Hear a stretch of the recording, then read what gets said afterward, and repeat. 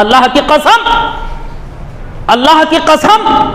مسلمانوں اگر ہم اپنا مقام سمجھ لیں اپنا مقام سمجھ لیں کہ عرش والے نے ہمیں کیا بنایا ہے؟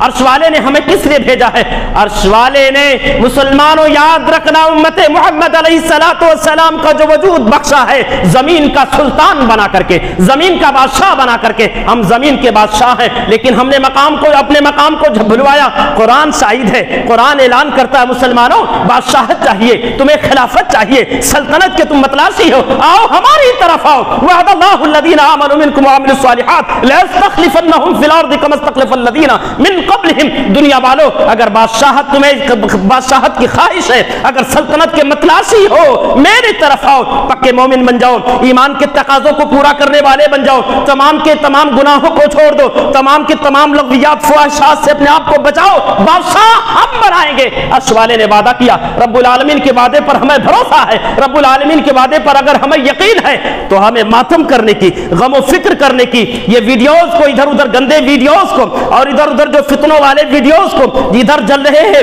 ادھر کٹ رہے ہیں، ادھر مر رہے ہیں، ایسے جذباتی ویڈیوز کو شیئر کرنے کی ضرورت نہیں ہے۔ جتنی محنتیں ان ویڈیوز کو واٹس اپ پر، فیس بک پر، دیگر ذرائع ابلاغ ہے جو خبروں کے نشریات کے ان تمام سے زیادہ اگر رب العالمین کو منانے میں ہم اپنا وقت صرف کر دیں، جو رب ہم سے روٹ چکا ہے، اس روٹے ہوئے رب کو منانے میں لگ جائیں۔